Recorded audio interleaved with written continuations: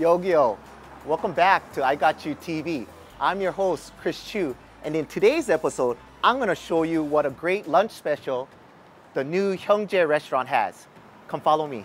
All right, for all you sad Donidon fans who thought Donidon would never come back, dun ta da! They're back at new Hyung Je restaurant. They have the best lunch specials when it comes to pork ribs. Sea salt spare ribs. They call this teji kalbi. In English, they call this spicy pork spare ribs. Look at that, check it out. Kalbi. This is called LA kalbi. Now, don't get it twisted. LA doesn't mean Los Angeles kalbi. It's the type of cut this meat is. LA means lateral.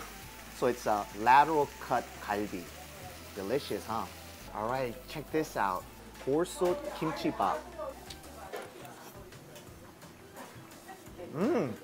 All right, guys, we just finished eating at the new Hyung Je restaurant, which I highly recommend.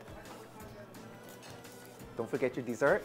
Thank you for your support. I really appreciate the love you're giving to iGotChu TV. And for all you fans of Donidon, don't forget New Hyung Je is the place to be if you want your ribs back. See you later. Till the next episode.